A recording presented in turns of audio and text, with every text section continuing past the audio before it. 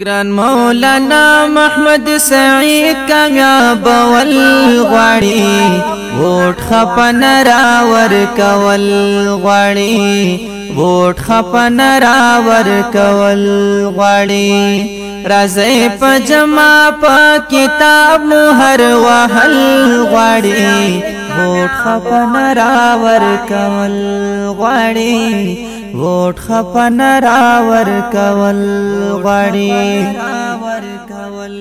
غړي حافظ محمد سید ګران دی خپاک دامن سوچ انسان دی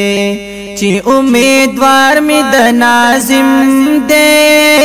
د بابا جی د فکر ځان دی چې در نه نشي هم دی بنا زول غړي ووټ خپن را ور کول غړي ووټ خپن را ور کول غړي رازې پجما په کتاب نو هر وهل غړي ووټ خپن راور کول غړي ووټ خپن راور کول غړي زمونږ نه خاچی کتاب دې دغه آغاز د انقلاب دې معاشري لچ لازم دې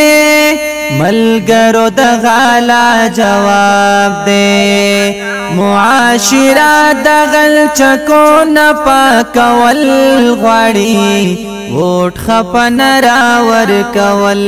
غړی ووټ خپن راور کول غړی رازې پجما په کتاب مهر وهل غړی ووټ خپن راور کول غړي ووټ خپن راور